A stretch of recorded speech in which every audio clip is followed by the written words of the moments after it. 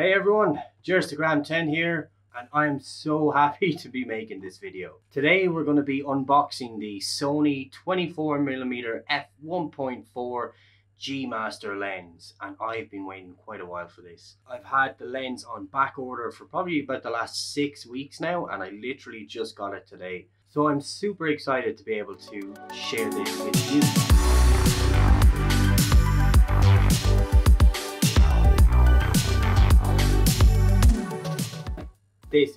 Going to be unboxing and I cannot wait. Also make sure to stick to the end of the video and I'll show you some test photos as well. I'm planning on going out after this and taking lots of photos so I'll throw them into the video just so you can see what the quality is like.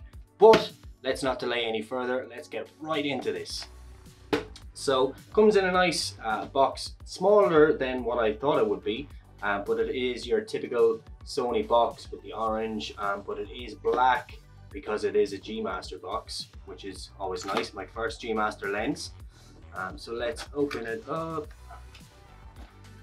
and we shall see what's inside. So we have a nice case. I'm assuming the lens is in there because the box is pretty empty. Um, there are some, let me see, some books and stuff. I'm sure there's warranties, uh, things like that. So um, yeah, we don't really need them. But uh, yeah, that's the box. Nice box. But here is the main event. So I'm liking the carry case. Uh, it's got a belt strap on the back here and there's two loop connections here as well so I'm assuming that you'll be able to rig it up to um, like a uh, carry strap um, and they have like a nice handle on top as well boom um, oh yeah look so there's a nice zip here, zips down, nice. And this is the lens. Let's have a look. So there's the lens. I'll put that aside for a second. Then we have the hood. So nice, nice hood. It is a ALC SH154 hood. It's got a nice little clip as well, so you can kind of it will definitely stay in there when it clips. If you can see that there. So I'll put that aside. We'll say goodbye to the bag for now. And here is the main event. Nicely wrapped in some nice bubble wrap. And there it is. Sony 24mm f1.4 G Master Lens. OMG.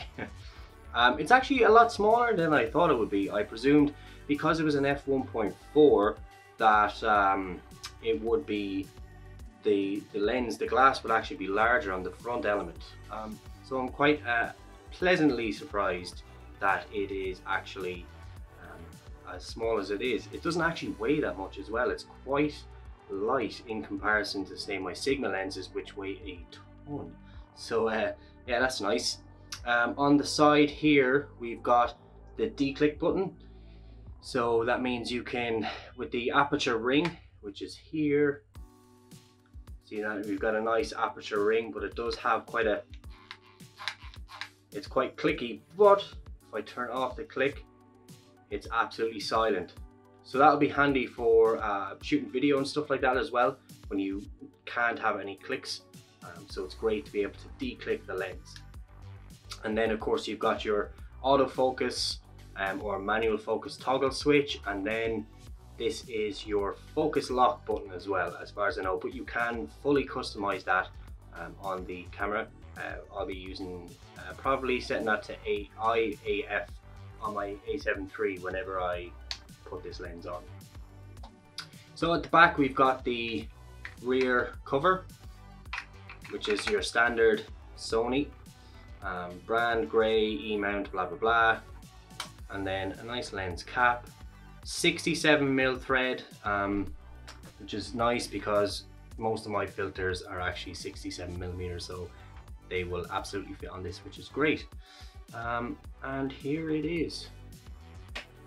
Um, so yeah Sony FE 24 millimeter f 1.4 G Master lens see if I can show you now as well if I change Um, oh, it's not.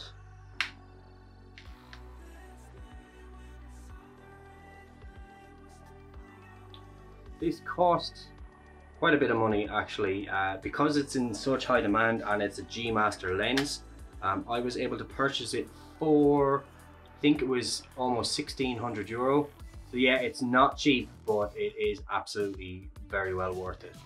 So make sure to stick around until the end. I am going to go and stick this on my camera now, go out and take some test photos, see how we get on with it. I'm really looking forward to it. But yeah, don't forget to hit the like button if you like this video. Give me a thumbs up if you like the video as well. Hit that like button for the Sony 24mm G Master lens. My first ever G Master. Probably not going to be my last, but I can't see myself adding to my collection anytime soon. But yeah, thank you so much for watching. Make sure to stick around. I'll throw up some of the sample images that I managed to capture.